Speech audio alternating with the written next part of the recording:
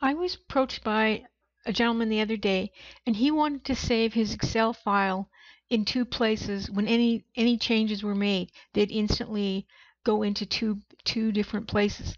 So I have on my desktop I have demo 1 and demo 2 and so I'm going to enter something in here. Now I'm telling the the system to save the save it as as it is so the file is named save by change.xlsm and so I'd like them both whenever I make uh, an entry into this uh, into the, this file, I'd like it to be saved in both places at the, at the same time.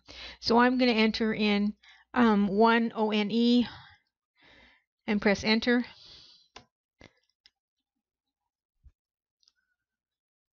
And just a second, there it's gone to the first one, and there it's gone to the second one. So two places at the same time there's a little pause for it to get through the code.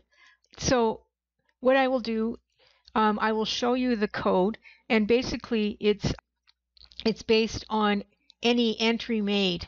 Now this code is written so you, you notice that it's this code is writ this code is written on the workbook tab as opposed to a module or as opposed to a sheet.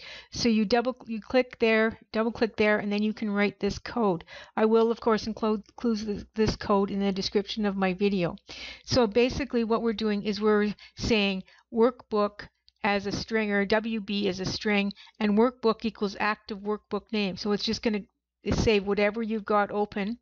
And then I've got my two paths. I've got users, Screaming Acres, OneDrive, desktop, demo, and I've got the same thing for demo one, and I say active workbook save as file name, my path, and workbook. Now, um, the reason why I'm not using the word path is because there's an automatic read-only um, on the workbook.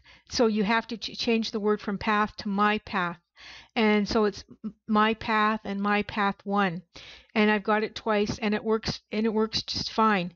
Um, and so this, because it's on the workbook, will be any change that you've made on your document, the workbook will automatically be saved.